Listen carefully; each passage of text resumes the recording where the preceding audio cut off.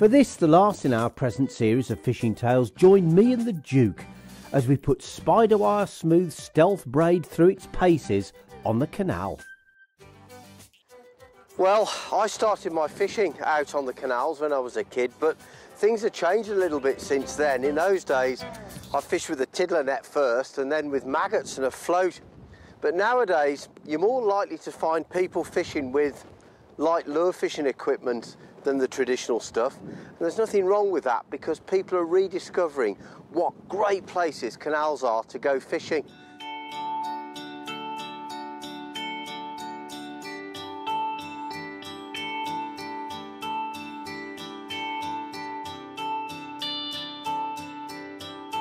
A lot of people who try and lure fishing for the first time really struggle with the retrieve, particularly with some of these small soft plastics.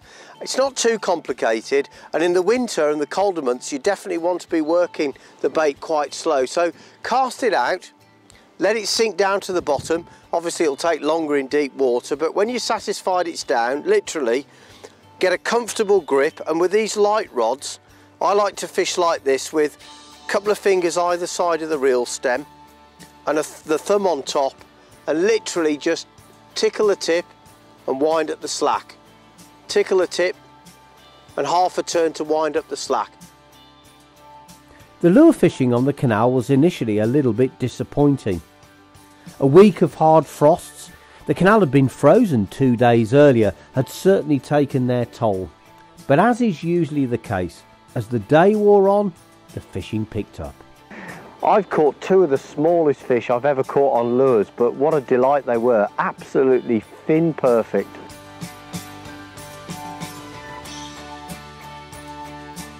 But perhaps the most interesting thing happened just about 10 minutes ago when I was playing yet another small pike in the margins and a bigger one shot out from under the bank and literally clamped its jaws across it.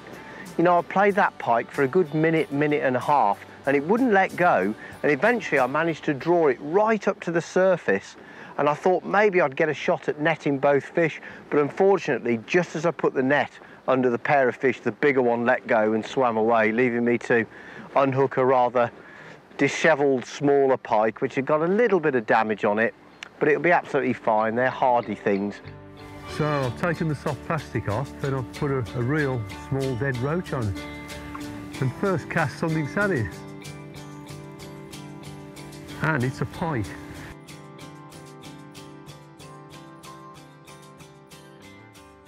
I love lure fishing. If there's even half a chance of catching the fish on an artificial, I'll always opt for it. But the Duke's more pragmatic. When the lure fishing's slow, well, why not try some bait fishing?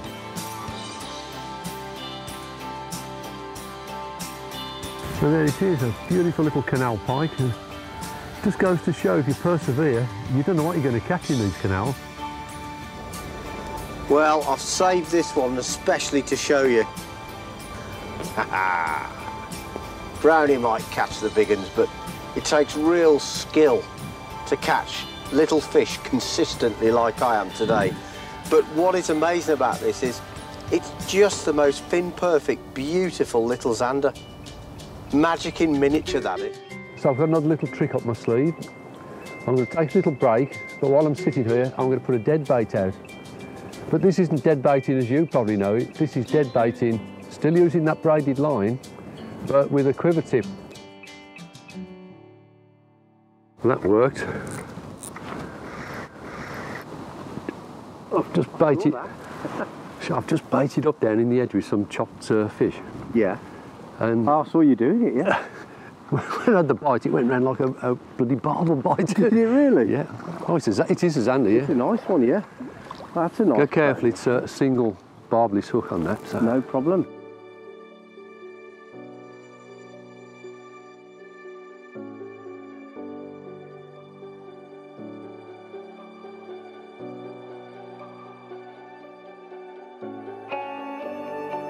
And so, the final episode of this series of fishing tales comes to an end. The Duke and I hope you've enjoyed watching this series as much as we've enjoyed making it. So until next time, tight lines